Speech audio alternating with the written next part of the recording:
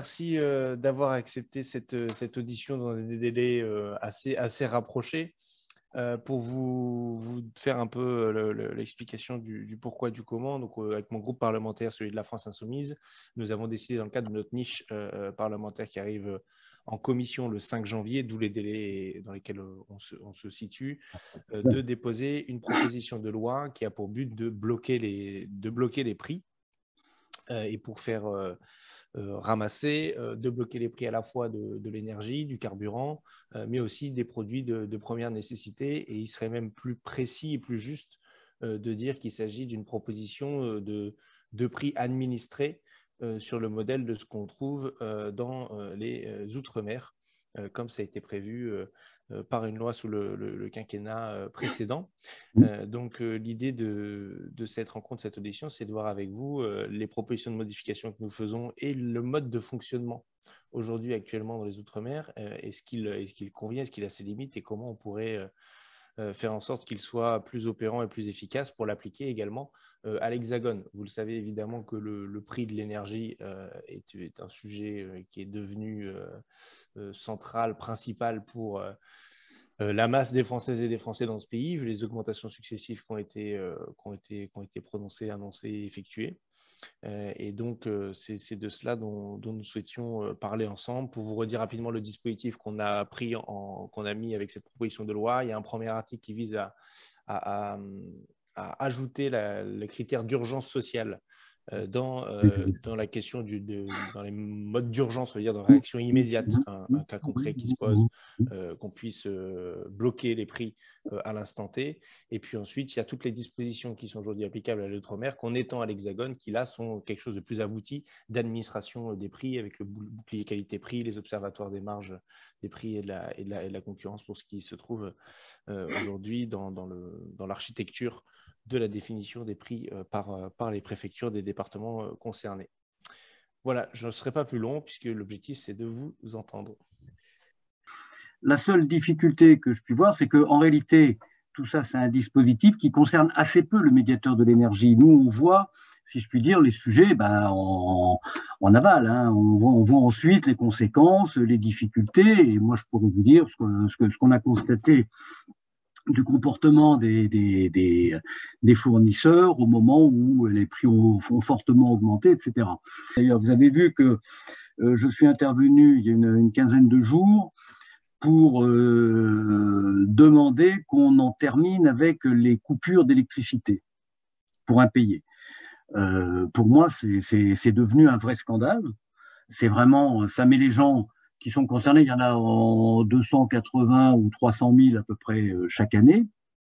Et ne plus avoir d'électricité, euh, ça veut dire non seulement ça veut dire de ne de plus avoir d'éclairage, bien sûr, mais ça veut dire ne plus avoir de chauffage, ne plus avoir de chauffage électrique, mais ne plus avoir de chauffage au gaz, parce qu'une chaudière à gaz, ça marche avec de l'électricité aussi. Ça veut dire ne plus avoir d'ordinateur, ne de, ne plus avoir de téléphone et j'avais dit même un, peu, un peu de façon provocatrice, euh, ça veut dire que vous pouvez même plus appeler votre fournisseur d'électricité pour lui demander de vous rétablir et essayer de trouver un moyen de, voilà. Donc c'est vraiment pour moi et c'est devenu euh, une aujourd'hui l'électricité, d'ailleurs c'est la loi qui le dit, c'est un bien de première nécessité.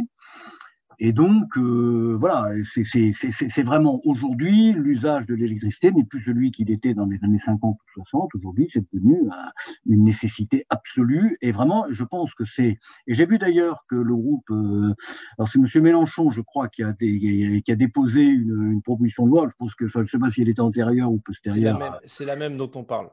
C'est moi qui vais faire le job de rapporteur. Lui euh, sera ce qu'on appelle chef de file sur le, sur le texte. D'accord, mais ça veut dire que cette proposition de loi, elle va être discutée là dans, la, dans le cadre de votre niche parlementaire et, sur la fin des coupures. Moi, je Exactement. Pense, alors, il n'y a pas la fin des coupures dans le, dans le texte, euh, mais charge à nous de faire un amendement complémentaire euh, pour le rappeler. Alors, si je ne dis pas de bêtises, il me semble que c'est déjà pas autorisé, les, les, coupures, mais on peut peut-être faire une, une, modification non, une modification pour aller plus loin sur l'effectivité de la non-coupure et que réduire l'ampérage à, Walou et à pas grand-chose, absolument. Euh, c'est pas, euh, ça ne veut pas dire laisser le compteur ouvert. Donc il y a peut-être une précision à apporter sur le, sur le sujet. C'est exactement ce que, je, ce que, ce que j'ai dit moi, mais peut-être que euh, Pierre-Laurent Olville pourrait vous, vous, vous envoyer, j'avais fait un communiqué de presse là-dessus pour vous dire exactement, parce que en réalité, aujourd'hui, vous n'avez pas le droit de couper entre le 1er novembre et le 1er avril. Voilà, ça c'est ça la loi aujourd'hui.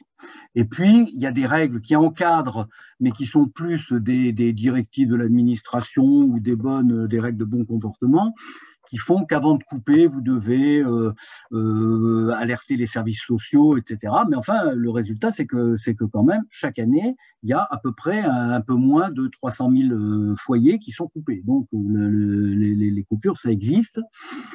Et moi, ce que je propose, c'est d'en finir avec les coupures. Et d'ailleurs, EDF a embrayé immédiatement sur ma proposition, puisque le surlendemain, ils ont dit, OK, nous, on applique, mais on, maintiendra à ce moment-là uniquement une puissance de 1 kW.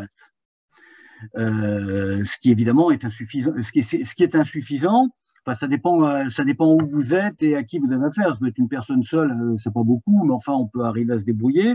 Euh, si vous êtes un foyer avec quatre enfants dans une région où il fait froid, à mon avis, c'est voilà. Et donc moi, ce que j'ai proposé, c'est de dire, on en, on, en, termine avec les avec les coupures d'électricité et on se met autour de la table pour regarder qu'est-ce qu'on fait, quelles sont, dans, quelles conditions on maintient, quelle puissance on maintient, quelle puissance on ne maintient pas. Il faut éviter les effets de, les effets de les effets d'aubaine, euh, etc. Et puis surtout euh, la question qui qui, paye. Euh, si on veut que ce soit les fournisseurs qui payent, vous allez avoir un certain nombre de fournisseurs qui sont déjà dans des situations difficiles en ce moment, qui eux pourront pas. C'est sûr que les gros fournisseurs, dire a plus les moyens de faire face à ce, à ce genre de choses. Donc euh, voilà, donc euh, et euh, pour être très franc, j'ai reçu des manifestations. Alors, je ne suis pas tout à fait d'origine de la France insoumise, mais j'ai reçu tout un tas de, de, de remarques hein, très très favorables, y compris de gens qui sont très très droits. Donc je, je, je pense que ça, c'est une disposition qui est dans l'air du temps et qui peut, euh, qui peut aboutir. Hein. Voilà. Bon, ça, c'est une, une, petite entrée en matière. Après ça, sur le dispositif que vous proposez, moi, j'ai eu, quand j'étais au Conseil d'État, à traiter ce genre de, de, de, de, situation de blocage des prix. Et c'est vrai que le texte actuel, il est encadré dans un simple. D'abord, il faut un avis de l'autorité de la concurrence. Et puis, euh, le texte est encadré, c'est pendant, une durée limitée, il faut qu'il y ait des circonstances exceptionnelles, etc. Et de ce point de vue-là, je pense qu'effectivement, la proposition de modification que vous proposez est évidemment une, avancée réelle, même si après ça, enfin, il faudra gérer les questions, euh, les questions euh, communautaires. Enfin, ça, c'est un c'est un autre sujet. Alors, il y a quand même une remarque que je voulais faire, c'est que vous avez déjà des, euh, des zones dans lesquelles, dans lesquelles on pourrait, alors ça ne répondra pas tout à fait à votre question, mais vous avez dans les, ce, qu'on appelle les entreprises locales de, distribution, qui sont en réalité là où en réalité EDF n'a pas le n'a pas n'a plus de monopole de fait et dans lesquels il n'y a plus de concurrence. Il n'y a pas de concurrence. Il n'y a toujours pas de concurrence parce que les fournisseurs euh, alternatifs ne veulent pas venir, parce que c'est trop compliqué, parce qu'il y a des systèmes d'information qui ne sont pas les mêmes que tout le monde et que, donc pour les fournisseurs, ça coûterait beaucoup plus cher. Euh, donc ils vont bah, là où c'est le là où c'est le plus facile et là où ils ont des, en face d'eux des systèmes d'information qu'ils connaissent et qui sont faciles à utiliser. Et donc, vous avez plein de. Ça représente, je crois, 5% euh, du, du territoire. Hein. vous avez euh, Bordeaux, vous avez Metz, euh, vous avez quelques dans lesquels il n'y a pas de il a pas de concurrence. Et moi, je vois d'ailleurs quand les gens reçoivent en ce moment des lettres. C'est le cas juste à côté de Lille, à Los, il y a une régie municipale. Et oui, c'est votre, secteur. Et euh, c'est pas ma circonscription, mais c'est juste à côté. Et, euh, et, donc sur, ce, sur, le, sur le territoire de ces, euh, de, de ces, entreprises locales de distribution, ben, il n'y a pas de concurrence de fait. Sur le papier et juridiquement, si je puis dire, le, la concurrence existe. Et moi, je reçois des gens, quand vous recevez des, quand les, consommateurs reçoivent des lettres leur disant attention, euh, vous allez devoir, euh, vous allez devoir quitter les, tarifs réglementés de gaz et euh, choisir un fournisseur alternatif. Et moi, je reçois des coups de téléphone de gens, non mais moi, j'ai pas de fournisseur alternatif chez moi et je ne peux pas.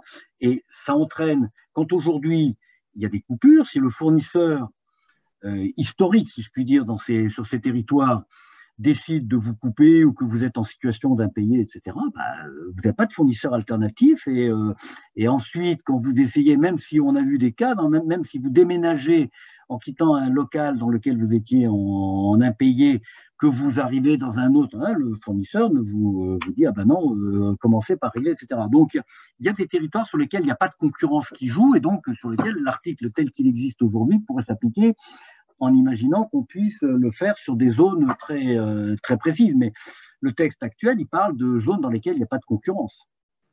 C'est d'ailleurs ce qui fait que euh, dans les territoires d'outre-mer, euh, bah, il n'y a pas de concurrence. Et donc, c'est ce qui explique. Voilà. Voilà, après ça, moi, sur, ce, sur, votre, sur votre texte, moi, je, l'ai regardé un peu avec mon œil de, de, de juriste. Bah, oui, ça me paraît. Euh, après ça, c'est un choix politique. Hein, y a pas de, ça, ça c'est pas mes, c'est pas mes oignons. Mais si je puis dire, d'un point de vue euh, juridique et euh, et du fonctionnement du marché, ça peut se faire. Je veux dire, la, la, la, la, seule difficulté que pourrait rencontrer le gouvernement, c'est avec la Commission européenne. Voilà. Après ça, moi, comment, comment, comment, ça fonctionne aujourd'hui l'articulation du coup euh, parce que finalement, vous dites qu'il y a tout un tas d'endroits où il n'y a pas de concurrence de fait.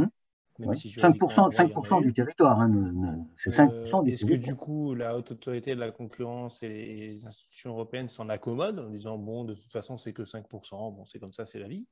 Ou, euh, ou est-ce qu'on est là sur un cas de figure où juridiquement, on n'est pas dans les clous, mais il y a un accord euh, formel entre la France et, euh, et l'autorité de la concurrence sur cet aspect-là parce que le, critère public euh, est prépondérant Je pense que je pense que c'est l'inverse, c'est que juridiquement le territoire est ouvert. Juridiquement, c'est ouvert. Et quand moi je parle d'ailleurs avec les entreprises locales, les représentants des entreprises locales de distribution, ils me, répondent, mais pas du tout, tout le monde peut venir. S'ils si, ne viennent pas, c'est parce qu'ils ont, ils ont choisi de ne pas venir. Et donc, c'est une situation de fait, ce n'est pas une situation juridique. Et s'ils n'ont pas, alors après ça, on, essaye d'aller plus loin euh, et de dire mais pourquoi ne pourquoi choisissent-ils de ne pas venir euh, bah, C'est parce que c'est trop compliqué, parce que les, ont leur propre système d'information, ils ont des procédures particulières que pour un fournisseur, il a 95% du territoire à s'occuper, ça lui suffit pour l'instant.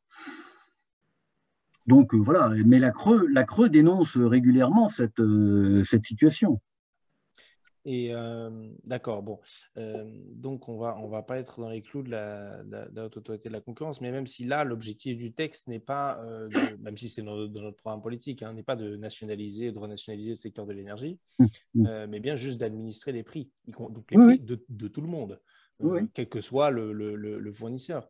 Est-ce qu'aujourd'hui vous vous avez un regard particulier sur le mode de fonctionnement dans les outre-mer? Non, franchement, sur les outre-mer, enfin, j'ai, des vieux souvenirs de l'époque où j'étais euh, à la commission de régulation de l'énergie, mais enfin, tout ça, ça, ça évolue, ça, je ne veux pas vous dire de, bêtises. Euh, si je me souviens bien, la situation outre-mer, elle est particulière parce qu'en réalité, vous avez un seul fournisseur.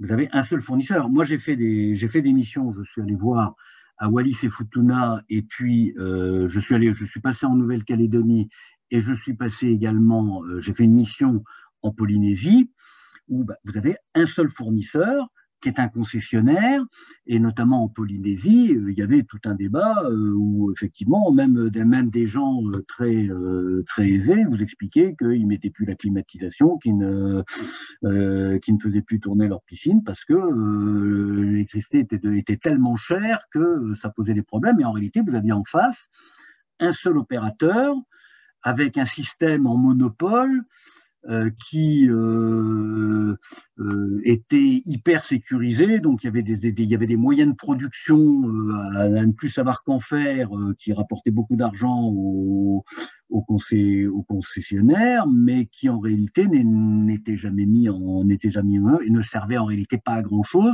Donc il y avait une surcapacité de production euh, voilà, qui était euh, dû au fait que bah, tout ça a été négocié dans un contrat de concession où en plus vous avez un, concessionnaire qui a des moyens techniques et juridiques et une connaissance euh, de la situation qui le met dans une situation de discussion avec les autorités locales qui est totalement déséquilibrée.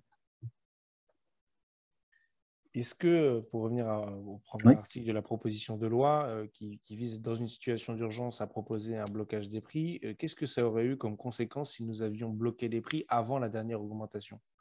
Euh, Est-ce que ça aurait mis en péril les producteurs, fournisseurs, distributeurs? Dans quelle mesure? Où est-ce que se fixe aujourd'hui la, marge principalement? Et comment, comment, comment on pourrait habilement faire en sorte qu'elle soit mieux répartie? Alors, la première chose, c'est qu'il faut savoir qu'en réalité, euh, le prix de l'électricité, c'est euh, trois, tiers. Il y a un tiers de taxes, ça, laisse, ça, laisse, quand même réfléchir sur un produit de première nécessité qui est taxé à 34%. Produit de première nécessité, c'est la loi qui le dit. La deuxième, le deuxième tiers, c'est l'acheminement, c'est le, transport et la distribution. Et le troisième tiers, c'est l'électron. Le, donc, en réalité, la partie qu'on peut euh, bloquer, si je puis dire, c'est ce troisième tiers. Ou euh, après ça, mais c'est un autre choix du gouvernement. D'ailleurs, je crois que le gouvernement réfléchit à baisser les taxes, etc. Moi, ça fait des années que je dis que c'est quand même complètement euh, anormal. Je pense que c'est le seul produit de première nécessité dans notre pays qui est taxé à 34%. Alors, après ça, sur le les effets qu'on a vus, nous, au moment où les prix ont très fortement augmenté, c'est que euh, nous, on, a un observatoire on a un comparateur de prix et on a vu immédiatement les fournisseurs euh, bah, disparaître, ne plus faire d'offres ou faire des offres qui étaient adaptées. En réalité, ce qui s'est passé, c'est que faire de, enfin, acheter de l'électricité, pouvez, ce, qu'ont fait beaucoup de fournisseurs alternatifs, de nouveaux fournisseurs, c'est d'acheter au jour le jour. Tant que les prix sont bas et stables, tout va bien. Le jour où les prix augmentent, eh ben, euh, vous vous retrouvez à avoir des contrats avec des consommateurs à un prix que vous ne pouvez plus euh, garantir et assurer parce que euh, les prix sont le prix d'achat est supérieur au, prix de vente que vous avez convenu. Donc, on a vu un certain nombre de fournisseurs soit augmenter fortement les prix en utilisant un article du code de la consommation dont j'oublie toujours le nom, mais Pierre, euh, Pierre Laurent va nous le donner, c'est L210. 2410. Hein, L200 22410. L22410 qui dit que les fournisseurs euh, doivent prévenir un mois avant euh, de toute modification de conditions, euh, des conditions contractuelles. Donc ils utilisent ça, ils en ont profité pour dire bah, avec cet arrêt, bah, voilà, donc je vous je préviens tous mes consommateurs que j'augmente, je vais augmenter mes prix de 10, 15, 20%, et personne ne peut rien dire, tout ça est légal. Il y a un certain nombre de fournisseurs qui ont renoncé à faire des offres et puis, il y a d'autres fournisseurs, vous, en avez probablement entendu parler, c'est euh, Leclerc Énergie, etc., qui ont dit à, euh, qui leurs consommateurs, euh, bah, écoutez, allez voir, moi je résilie tous les contrats que j'ai au 1er octobre ou au 15 octobre, même s'ils nous ont dit que bon, on gardera les derniers qui n'auront pas changé, on les gardera et on les fournira. Mais enfin, ils ont, ils ont annoncé, ils ont réussi à en faire partir 120 000. Et donc en disant, bah, allez voir sur le marché, et là, les gens se sont retrouvés du coup dans une situation avec les tarifs réglementés qui avaient augmenté, euh, ou à aller chez des fournisseurs où euh, les prix avaient, très fortement augmenté. Tout ça parce que ces fournisseurs-là ne se sont pas couverts, n'ont pas acheté à l'avance euh, ce qu'on appelle des capacités, c'est-à-dire que vous, vous, allez acheter sur le marché long terme de l'électricité que vous payez un certain prix. Et c'est comme ça notamment qu'un certain nombre de fournisseurs peuvent vous faire des offres à prix fixe pendant trois ans, parce qu'ils ont acheté sur les marchés de gros à long terme de l'électricité à ce prix-là. Ils ont donc un prix garanti.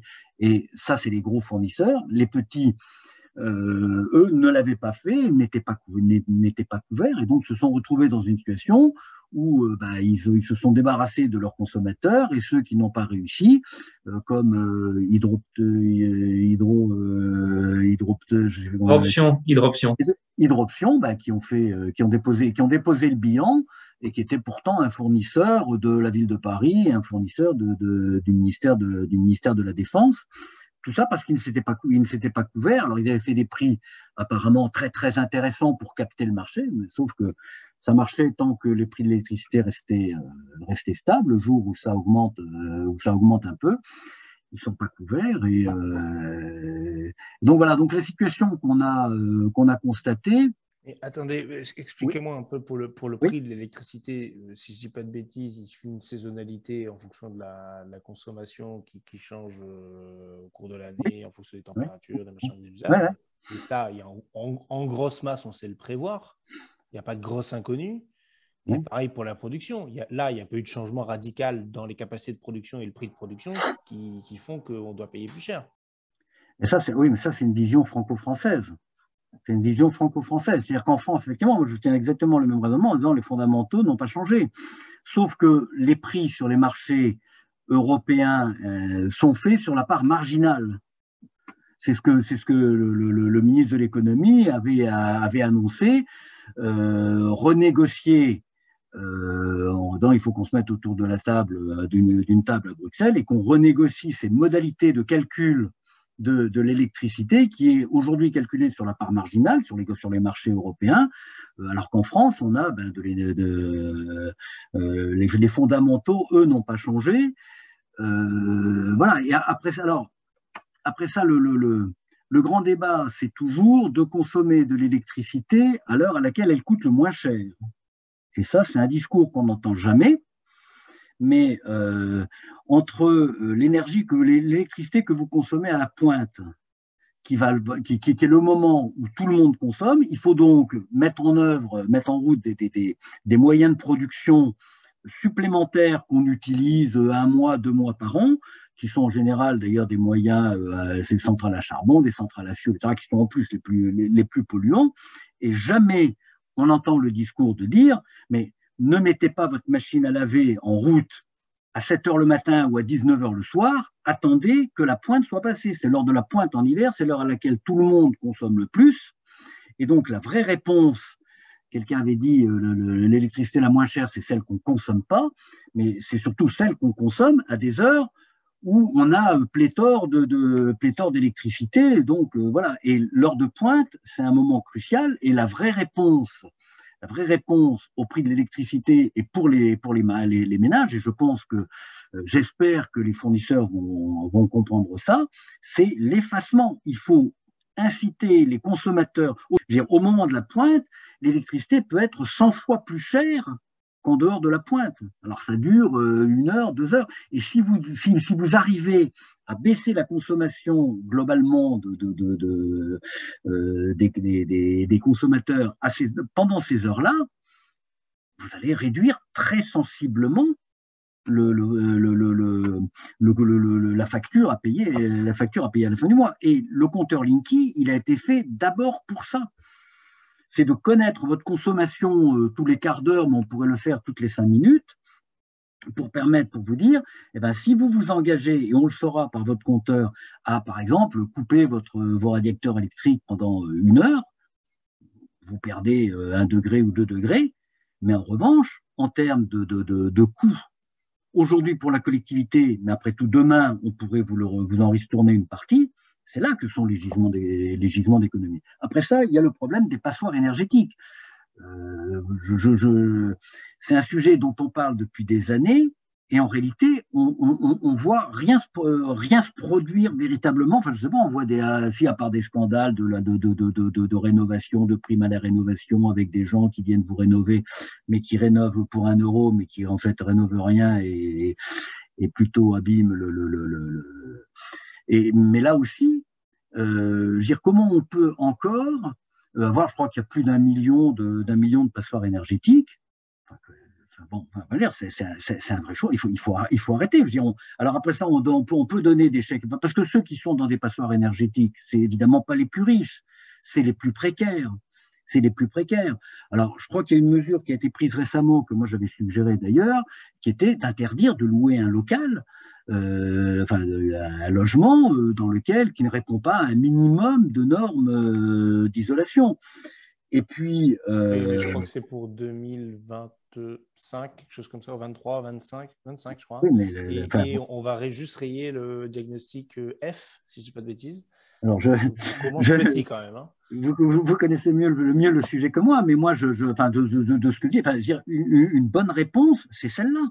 On peut donner des chèques énergie aux gens de 270 euros dans le meilleur des cas ou de 370 les bonnes, euh, les bonnes années, vous payez à peine les taxes avec ça. Parce que vous, en fait, vous, payez pour chauffer, euh, pour chauffer la rue. Et donc ça, vraiment, à mon avis, c'est une priorité, si on veut vraiment, euh, c'est vraiment une, priorité, et c'est assez simple d'ailleurs, hein, parce que voilà, il suffit de dire on met pas en location, et puis, euh, progressivement, on améliore le parc. Et c'est vrai qu'on entend toujours dire qu'on met beaucoup d'argent, mais euh, moi, je constate qu'il y a encore un million de passeurs énergétiques, même plus d'un million. Donc ça, c'est quand même... Alors après ça, il y a un troisième sujet qui aurait pu permettre, ou qui pourrait, qui, est susceptible de permettre de euh, faire baisser les prix, même temporairement, c'est la reine. Euh, aujourd'hui, le, prix de la reine est à 42, donc il est bien en dessous de, des fondamentaux. Et euh, la seule difficulté, c'est que vous avez droit à 100 TWh. Donc il faut, euh, voilà, on pourrait porter cette, c'est-à-dire que EDF doit euh, mettre à disposition des fournisseurs alternatifs, alors avec une répartition euh, équilibrée, 100 TWh. Si on passe à 150, vous faites baisser automatiquement le prix de l'électricité. Ça, c'est un sujet, j'ai vu que le gouvernement réfléchissait à ça. Quand même une... Vous pouvez rentrer dans le détail de, ce, de, de, ça Moi, je ne maîtrise pas du tout ce dont vous... Le prix de la reine, ça a été fait en fait, ça a été fait pour euh, permettre aux fournisseurs alternatifs de bénéficier de la rente du nucléaire. C'est-à-dire qu'au moment où on a ouvert le marché, euh, ben, EDF était le seul à avoir des centrales nucléaires. Il y a eu tout un débat politique très, euh, euh, très, très, très assez violent d'ailleurs, dans lequel les, EDF disait mais si je dois donner de l'électricité pas cher, on, me, on, me vole, on me vole mon électricité et un certain nombre de, gens répondaient bah, pas du tout, c'est euh, les centrales nucléaires, elles ont été faites avec l'argent du contribuable, avec l'argent d'un monopole, etc. Et donc, euh, tout le monde, tous les Français doivent pouvoir en profiter. Et donc, on a décidé d'imposer à EDF de, euh, de vendre aux, aux, fournisseurs alternatifs en fonction de leur portefeuille. Tout ça, c'est très. Enfin, après, on rentre dans une mécanique un peu compliquée, mais le principe, c'est ça, de vendre aux fournisseurs alternatifs une quantité euh, d'électricité au prix du au prix nucléaire, c'est-à-dire un prix qu'on a fixé qui était, je crois, de 42, de 42 ou 42, euh, enfin c'est en train de, je crois que c'est 42, et de 42 euros qui est évidemment qui permet euh, de vendre de l'électricité dans des conditions très euh, plus favorables pour les fournisseurs alternatifs qui n'ont pas de moyens de production et qui ne peuvent se fournir que sur que sur le marché.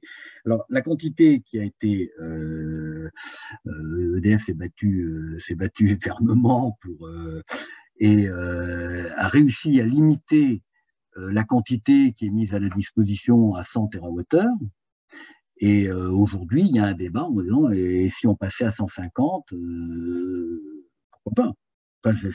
C'est un, choix, et ça c'est sûr que si vous mettez 50 TWh ou 100 TWh, d'ailleurs on, on, peut faire réfléchir, si vous mettez 50 ou 100 TWh à la disposition des fournisseurs alternatifs, vous allez leur donner une bouffée d'oxygène et leur permettre de vendre de l'électricité euh, à un moment où ils n'ont plus les moyens de l'acheter sur les marchés. Parce qu'on a vu quand même, on a vu quand même euh, ben, un certain nombre de, fournisseurs, ils étaient, ils étaient complètement aux abois, ils ne savaient plus comment fournir euh, leur. Euh, voilà, donc on a vu des fortes augmentations, ils ont utilisé l'article du Code de la consommation pour, augmenter. Bon, là, j'entends les, solutions, les pistes qui sont, qui sont avancées pour un sujet à très court terme de fixation du prix pour l'ensemble des fournisseurs et dont les fournisseurs alternatifs. Après, là, la, ça, euh, on discussion qu'on a, là, c'est notamment d'avoir un choix économique. Alors, certes, pour les ménages les plus modestes et pour le grand nombre des, des Françaises et des Français, mais c'est d'avoir un vrai choix politique et pas juste un choix économique de mmh. le marché nous fait la démonstration que.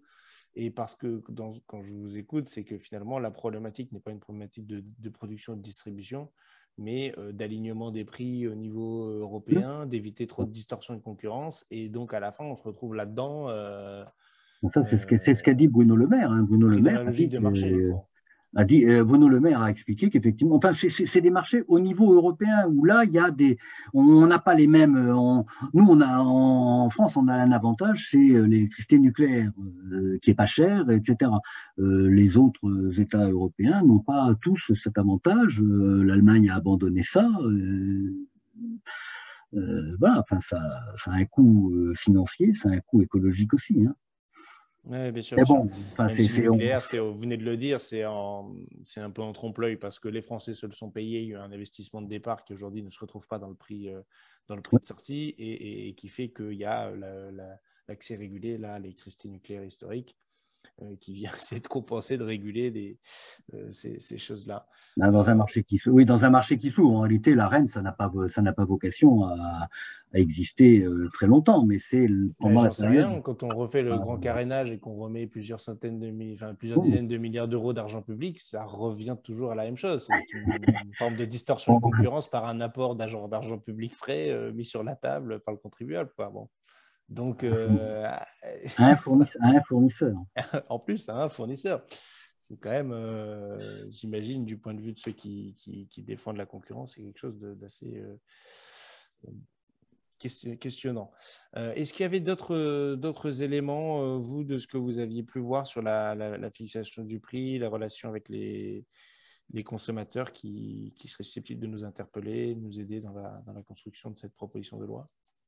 Alors, moi, je vous dis, enfin, on a vu, nous, ce qu'on a observé sur le, ce qu'on a observé effectivement avec cette forte augmentation, c'est en réalité, on a vu la, faiblesse de certains, de certains fournisseurs qui ne se sont pas couverts, qui n'ont pas, d'ailleurs, forcément, moi, je les vois d'ailleurs également euh, dans les problèmes qu'ils ont avec, dans les litiges qu'ils ont avec certains euh, consommateurs, euh, qui en réalité n'ont pas les moyens, n'ont pas la à la fois la compétence euh, technique, financière, euh, commerciale. Euh, c'est quand même pas, simple de, vendre de l'électricité, contrairement, à ce qu'on pense. Et, donc, dans une période où les prix ont fortement augmenté, bah, ils se sont retrouvés totalement démunis parce qu'ils s'étaient pas couverts et que parce que ça coûte cher hein, de se couvrir. Ça veut dire d'acheter à terme, ça veut dire ça, ça coûte de l'argent. Euh, et, donc, euh, bah, ils se sont retrouvés un petit peu, euh, un petit peu pris, pris à la gorge avec une forte augmentation, obligés d'aller acheter de, l'électricité sur des périodes assez courtes. Et là, voilà. Eh ben, j'ai envie de vous dire, c'est le fonctionnement du marché, mais ce qui est, quand même étrange, c'est que quand tout ça est gagnant et que les marges sont bonnes, la profitabilité est bonne, il n'y a pas d'obligation, il n'y a pas de règle. Ceux qui ont fourni, qui ont fait la marge prennent. Et, finalement, quand ça va pas, c'est l'État qui vient mettre la différence euh, pour parce qu'à la fin, c'est le consommateur final qui est quand même pénalisé. Bon, euh, je me dis que c'est quand même un, mode de fonctionnement de marché qui est, euh, même quand on est perdant, pas si perdant que ça, et plutôt gagnant, en tout cas pour le, pour le fournisseur. Bon, j'ai vu qu'il y en avait, vous avez dit vous-même qu'il y en avait ah, qui mis la clé sous la porte. Il y a une, ah limite quand même à ce que je raconte, évidemment. N'empêche que, bon, ça, questionne quand même parce que si à la fin, on met de l'argent public sur la table euh, juste parce qu'un fournisseur, dans sa position de marché, n'a pas fait les bons choix à un moment donné, euh, voilà, ça, ça, m'interroge. Vous connaissez, hein, privatiser les, enfin, socialiser les pertes, oui, Vous connaissez la formule, évidemment.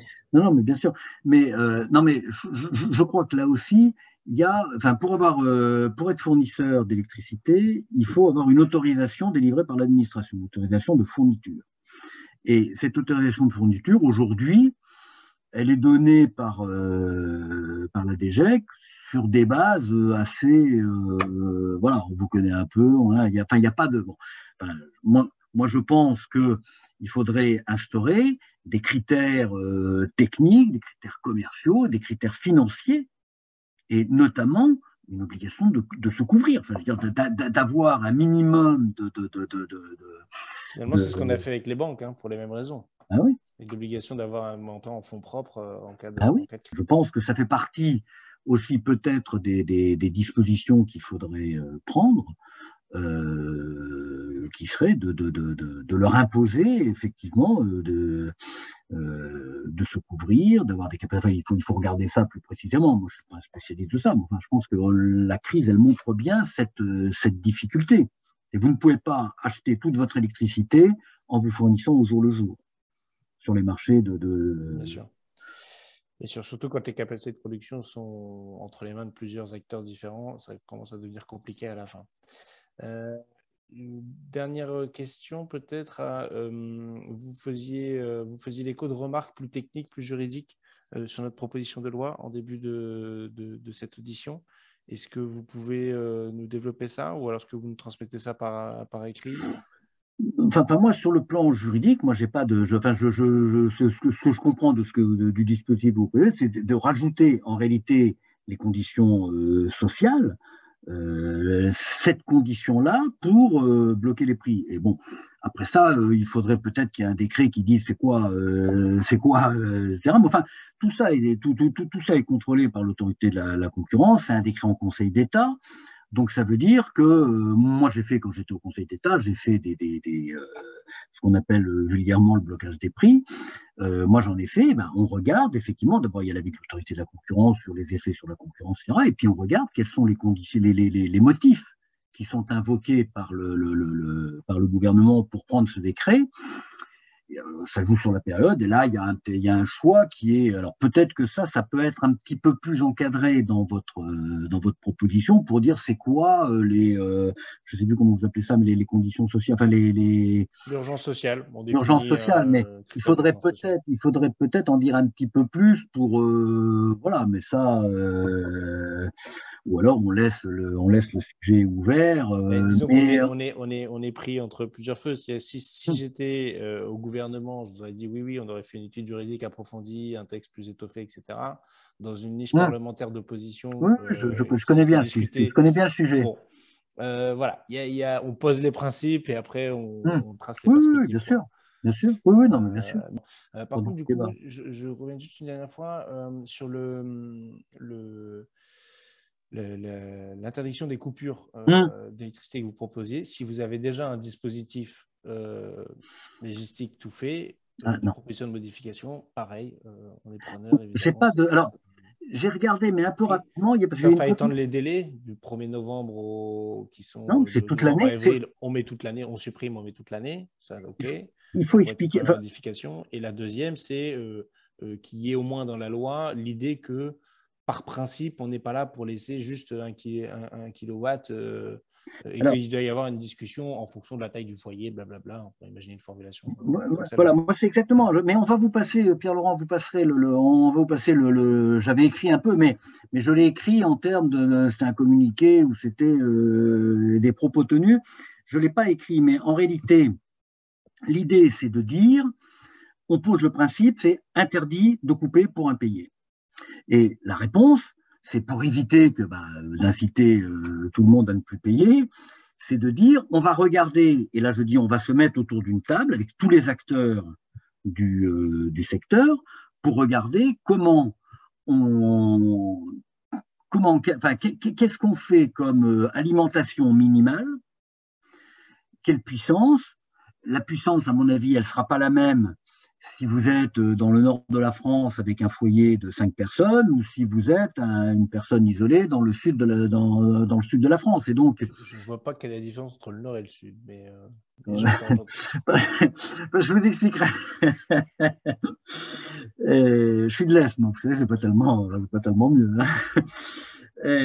non mais et, donc et de regarder un petit peu, d'essayer de mettre un, de mettre un cadre euh, pour justement regarder bah, c'est quoi? Parce que EDF euh, e a tout de suite dit pas par hasard d'ailleurs, à cranté en disant bah, nous, on maintiendra un kWh. On, est d'accord avec le médiateur, on maintiendra un kWh. Mais je ne suis pas sûr, un KVA, pardon, je ne suis pas sûr que ça soit euh, très, très pertinent parce qu'un KVA, vous ne faites pas grand-chose avec ça. Donc voilà. Et, donc, et alors derrière, ça aussi, il faut se poser la question, ça a un coût. Ça a un coût pour, ce, pour, le, pour, pour le fournisseur euh, voilà, mais qui, euh, qui maintient une alimentation et qui en plus n'est pas payé par euh, voilà. Donc les gros, ils ont ils ont les moyens de faire face, les petits, ils n'ont pas les pas les moyens de faire face et en tout cas ils se plaignent que et tous. Donc il faut moi, je pense qu'il faut ça, ça se règle par la création d'un fonds commun de garantie. Alors voilà, oui, voilà, abondé par absolument. je, je, je suis d'accord avec vous. Mais euh, la vraie question, la, la, question difficile, c'est qu'est-ce qu'on maintient comme c'est quoi une alimentation minimale?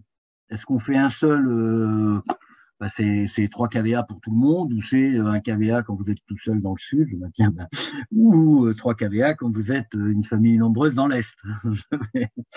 voilà. Je, pense que c'est là où il y a et d'ailleurs cette ce choix-là, il a des conséquences sur le coût. Sur le coût, si, vous, si c'est un KVA, c'est pas ça, c'est, pas ça qui va changer grand-chose sur le résultat final du, du, fournisseur. En revanche, si c'est 3 euh, KVA euh, ou, un peu plus, bon, voilà. Il faut que ça soit suffisamment handicapant, mais euh, que ça permette aux gens de vivre dignement. Je, pense que c'est ça quand même le sujet. Bien sûr, bien sûr. En tout cas, merci beaucoup pour tous ces éléments et pour cette, cette discussion.